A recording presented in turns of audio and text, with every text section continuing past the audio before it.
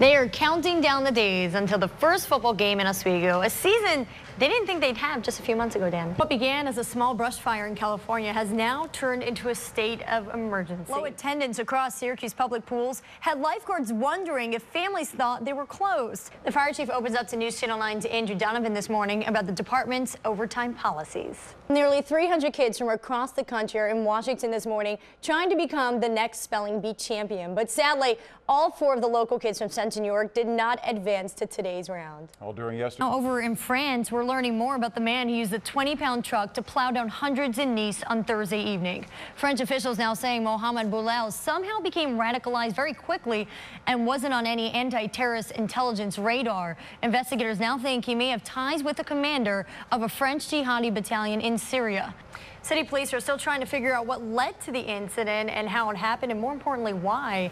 Officers were dispatched to McCarthy Manor yesterday around noon for a status check and found 60-year-old Sarah Brantley dead. And after collecting evidence, they quickly learned who the suspect was and were able to locate her son, 22-year-old Jamar Brown, just a few blocks away on East Genesee near Walnut Avenue. Again, police say they're still trying to figure out what may have motivated Brown to take the life of his own mother and whether he had a violent or criminal past. Now, if you know anything, the number to call is 442 5222. And Brown faces charges of second degree murder and criminal weapons possession. One of Central New York's most traveled roadways is going to get some changes for better safety. That's right. The Department of Transportation presented two options for a new Onondaga Lake Parkway at a public meeting last night. The first to keep all four lanes but install a median barrier. The other to reduce the road to two total lanes, one for each direction.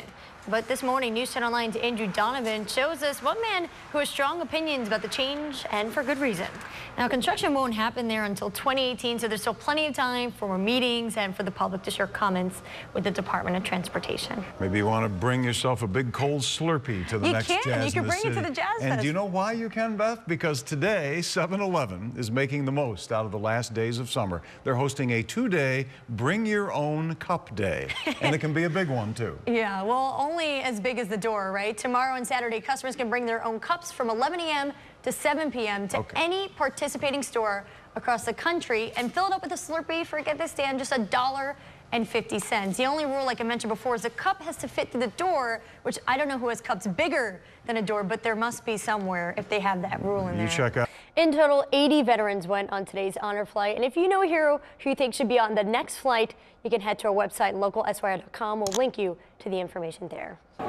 Yeah, Karen Rod, don't let this area fool you right now. It's a lot calmer now, but earlier this place was stormed. They had more than 300 people coming here so far looking for jobs. We're going to pan over and show you Margaritaville. Obviously, a wave of relief amongst people living here in the North Country that one of these convicted killers is no longer on the loose. But state police still in hot pursuit of David Sweat. Now, this is a fill-in position. She will have to rerun again next year, but she tells me she wanted to do this so that next year she has a good foundation for that election. Good evening, I'm Carrie Lazarus. And I'm Rod Wood. Concerns of unsafe levels of lead in water at Ithaca schools, and now the district is shutting off all drinking water to each of its buildings while it evaluates what to do about the levels. Now, students and staff are being provided with bottled water at Enfield and Caroline Elementary Schools. News Channel 9's Beth Cefalu is live in Ithaca right now.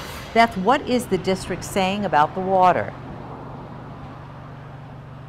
Absolutely nothing, Rod and Carrie, only referring me to their website for the same information available for these parents. Now, the district did two tests, one in August and one in January. Both of those tests tested positive for unsafe levels of lead in the water, but it wasn't until February that the school revealed this information to families and then started taking action. What's even more concerning, though, is that they revealed that back in 2005, both of these elementary schools again tested positive for unsafe levels of lead in the water. The EPA says anything over 15 parts per billion needs action. There was one water fountain in Enfield Elementary that had 448 parts per billion. So what did the district or even the county health department do when that happened? Well, that's a question not only News Channel 9 has, but many of these parents.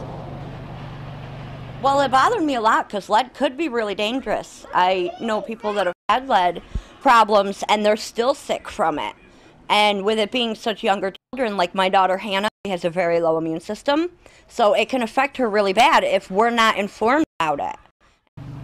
The EPA says even low levels of lead in the blood of children can result in behavior and learning problems, lower IQ, slowed growth, hearing problems, and in some cases seizures and even death. We did talk to a faculty member off camera who says they too were left in the dark, only finding out in February about all of these tests dating back to 2005. Again, I want to stress the district will not say anything. The county health department only letting us know that the school is providing water and more tests are being done. But our investigation far from over on News Channel 9. We've reached out to the state health department, the EPA, even the governor's office, and these families, Rod and Carrie, also not sitting back doing nothing. We've heard that the PTA group at uh, Caroline Elementary has created their own water working group to investigate this, and moms and dads now taking their children to the doctor's offices to test them for lead. For now, reporting in Ithaca, Beth Cefalu, News Channel 9.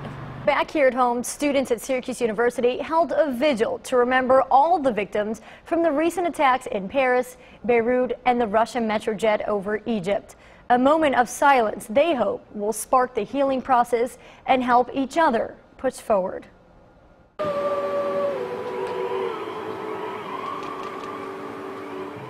Tonight, strangers turned into friends, standing together, mourning the hundreds of lives lost to terrorism. We're all humans at the end of the day, and we all have feelings, and just innocent people died, so uh, we all feel sorry for them, regardless of our nationality and regardless of politics. Among those paying respects, students from Paris, France, still struggling to make sense of what happened.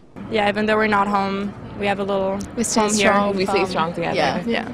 While the three girls say their loved ones are safe, it hurts to see their home hit by more brutal attacks. Less than a year after two terrorists killed several journalists at the famous French satirical newspaper Charlie Hebdo. My first thought was, oh my God, this is Paris, January all over again. And I started crying because there was such a hard time and I was still mourning people I lost in January. When it happened again, I was like, okay, I'm living the nightmare. But this time I felt like kind of helpless. I was not there, in my family. Millions of miles away, but the pain just as deep.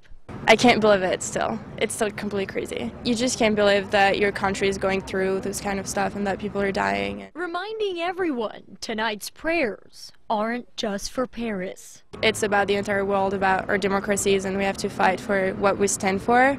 Standing together, spreading love that they hope helps the world begin to heal.